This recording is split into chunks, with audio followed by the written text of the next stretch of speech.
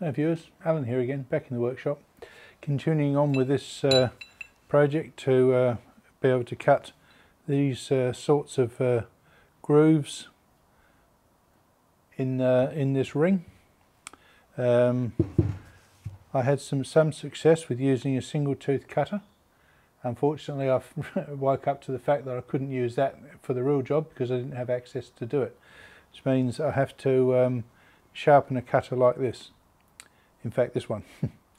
um, so you're looking at the finished product here actually, I have sharpened it and uh, it created the, uh, the second groove here which you can see um, perhaps worked out quite well. Cutter itself though, hmm, maybe not so much. it's the first time I've tried to do um, sharpening of something like this.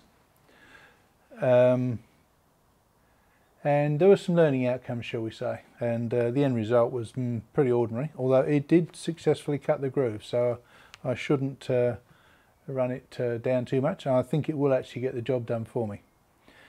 Anyway um, follow along as I uh, bumble my way through how to set up a tool and cutter grinder to sharpen well actually not just sharpen it's a reshape or a change the profile of the teeth. Okay let's get to it Okay, so this is going to be the first time that I've done a multi-tooth uh, milling cutter on this uh, tool and cutter grinder. So um, I'm finding my way. Uh, so the first thing was to um, get the dividing head uh, lined up horizontally, as you can see here.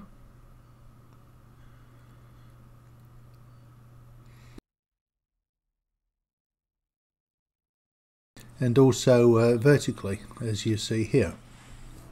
So for this process I'm using the alignment bar that I, I got for my, uh, making sure my lathe tailstock was correctly aligned. So it's a, a ground parallel bar with a Morse 2 taper. Yeah, apologies for the rain, um, but it's been a wild and wet weekend. Um, if I uh, stop every time it rained, I'd never get anything done. So anyway, I've um, now got the axis of this uh, dividing head um, set horizontally and vertically so it's correctly aligned this way and that way. Uh, now I've put in a, an ER40 um, collet chuck to hold the arbor that I want to mount the um, cutter on. It'd be nice if I had a more a full Morse taper arbor to put directly in here, but I don't. That might be a future project to make one because I'm not happy with the accuracy of this uh, ER40 I'll just rotate him around. And you can see perhaps we've got uh, about a thousandths run out on that. Thousandths of an inch which isn't a lot for general machining but it's not what you want when you're trying to sharpen a, a cutter. Anyway it's the best I can do so that's what we're going to go with. We'll see how that thousandth works because it's just going to the uh, the run is going to get worse the further away we get. So uh, thousandth there, it's tested over there.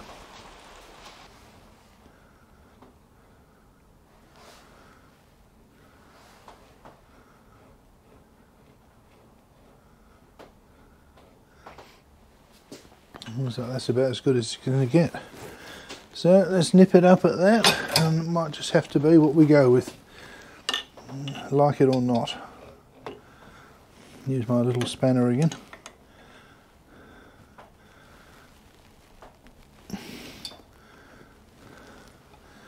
She's uh, quite a big beast, this one.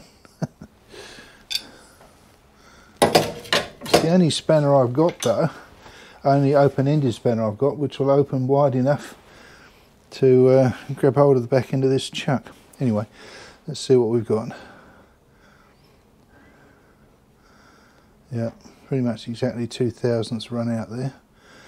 Not happy, but what can I do? But it looks like I do need to make my own uh, arbor up here.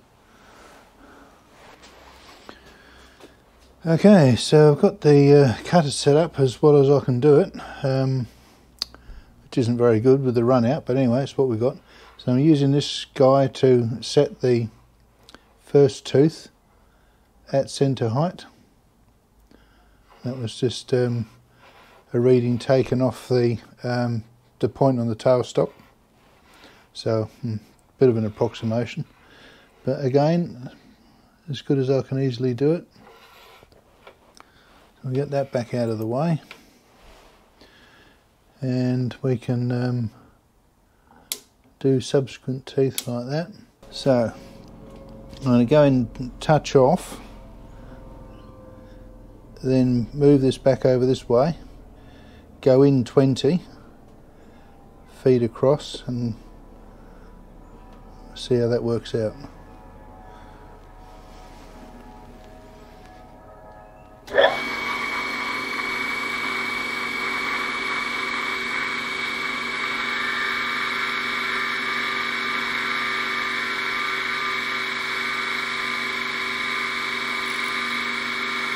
That's touched.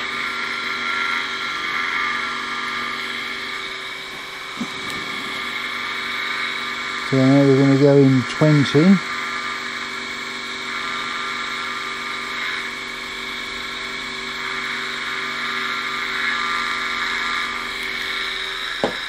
And we'll see how much that takes off.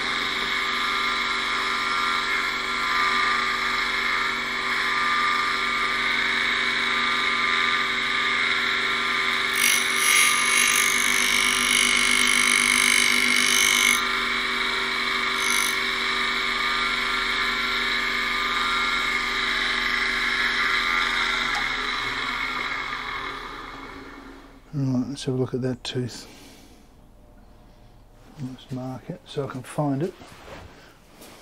So that's the one I've just touched. Let's bring that one around and inspect it. And we'll just lift this up for a moment. And let's take you back clear of that. Alright.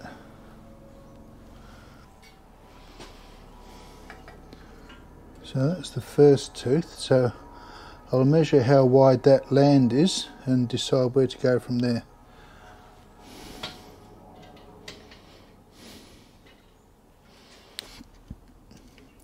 So this is necessarily going to be an approximate, but it looks like that's about 1.5 millimeters.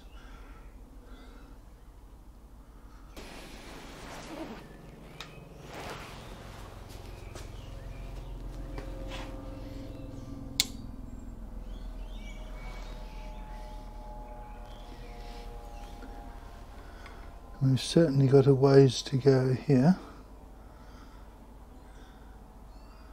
So I went at 20 thou. Let's go again at 30 thou. So I've got to put the tooth back.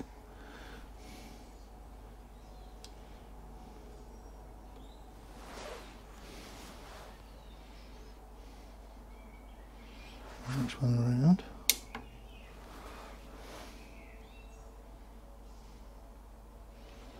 Yeah, so and we're going to go at 30, so we're going another 10.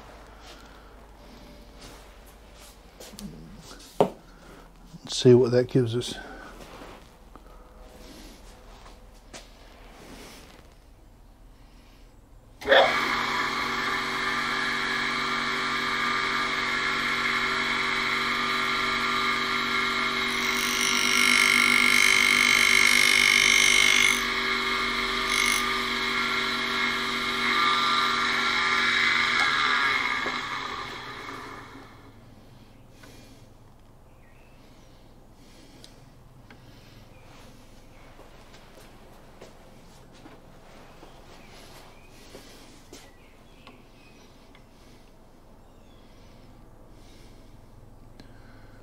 We've still got a ways to go yet.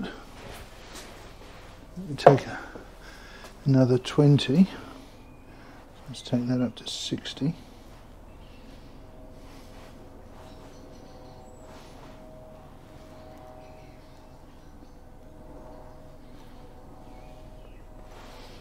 Let's see what that gives us. Oh, put the tooth back, that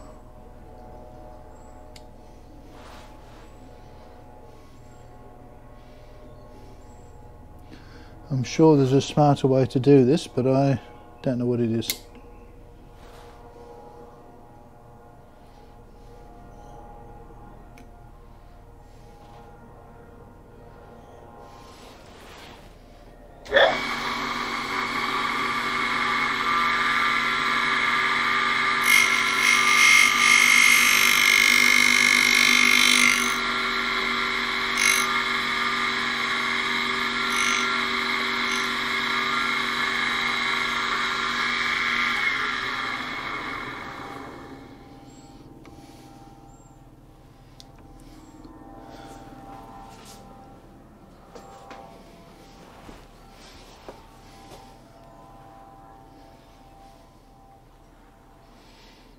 Getting getting a bit closer now.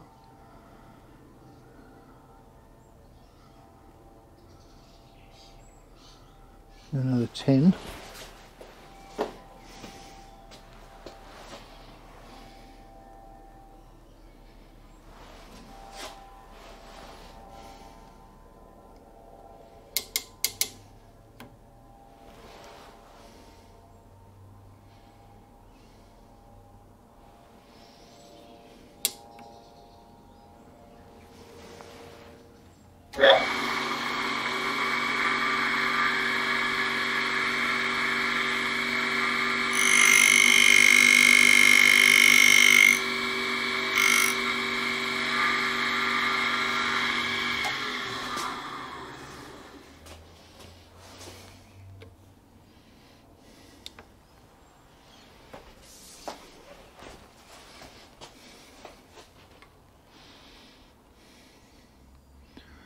Yeah, another 10 might well be what we want.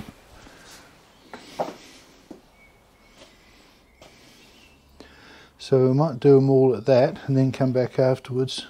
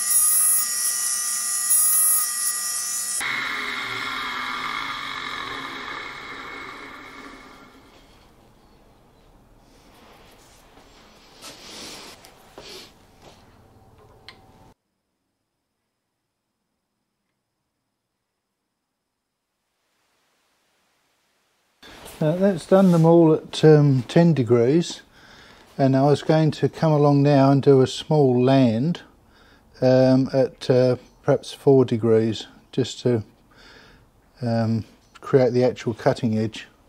Okay, well I don't know how well you're going to be able to see this but I've got to confess to another mistake. So looking up under here I had this finger uh, indexing on the top of the preceding tooth uh, which unfortunately, of course, was the wrong thing to do because as we, we came around, eventually it came to a tooth which had been truncated a bit to make the flat, which meant that the indexing position on the on the contact point over here was a bit different. Now, as I've fooled around with the feeler gauge, I can't actually detect or measure the difference that it made, but I've um, reset things so that now the this finger is stopped against this screw with a lock nut. So it its position and therefore its um, contact point on the, the tooth that we're indexing against will not be affected by how much material is removed from the, the teeth coming around, which is what I should have done in the first place. So lesson learnt there, you make sure the indexing finger uh, isn't affected by what you're doing with the teeth. Okay, so I finished doing the uh, the clearance angle on the back of the teeth. That's it was done at 10 degrees, and um, now I want to do the the cutting edge, which I'm doing at five degrees, and I just want to have a, a very narrow land of the five degrees just to create the cutting edge. Now I've changed over to a, a finer grit wheel, and we're going to be taking very light cuts here hopefully um, it's all an experiment now because I've never done any of this before now let's give it a go and see what happens yes so I had to reset this wheel to uh, 5 degrees tilt to change the tilt which upset everything else blah, blah, blah. We're doing things in thousandths of an inch here now so I've moved the uh, moved the cutter in a thousandth of an inch. I'm not sure whether that cut or it didn't, so I better have a quick squeeze.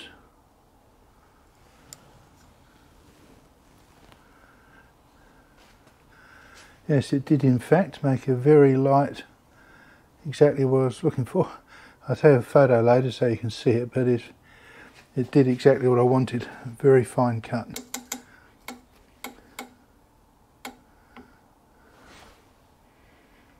Yeah, so on, on to the next one now then.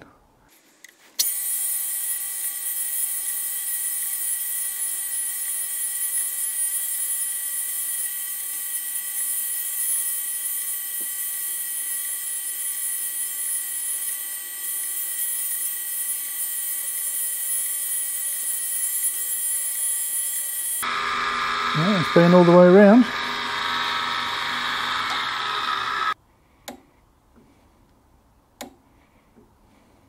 Mm.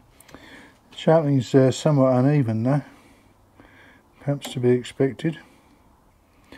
Some of that is possibly due to the way it had been previously reground with um, on the side angles here. I mean, uh, you can probably see that see this uh, grinders here. I don't know what this wheel started out in life as, but it was reground once before to be the 30 degrees, and that's where all this patterning around here came from. So I don't know how accurately that was done. And I certainly don't overrate the accuracy of what I've done.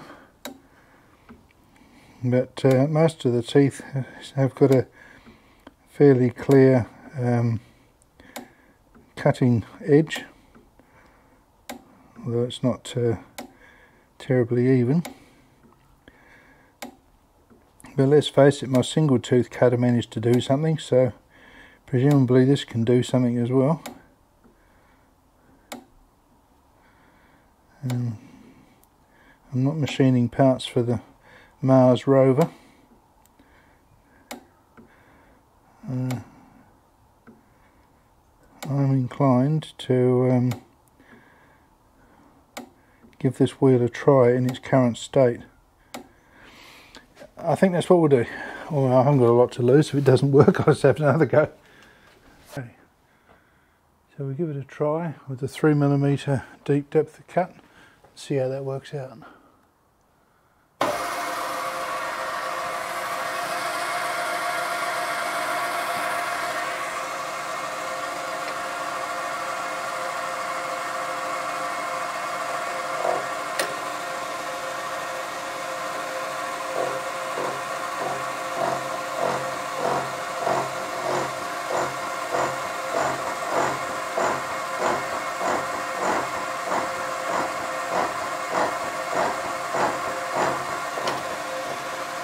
Obviously hideously out of round.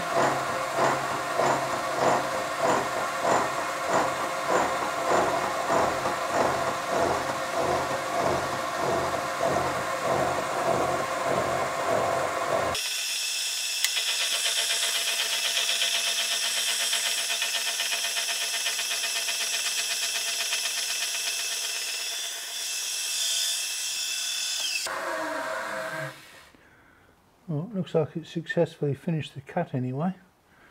Uh, let's, let's have a look at what it's uh, achieved. Worked out quite well. Cutter itself though, hmm, maybe not so much. So now I can uh, use the cutter to uh, put all the grooves around this ring and finish making this piece for my dividing head. Um, hope you enjoyed the video. If you did, please consider subscribing or liking. Um, takes quite a bit of effort to make these videos actually, so uh, anything uh, that gives me a bit of feedback that says it was worth the effort is much appreciated. So again, thanks very much and see you in the next one.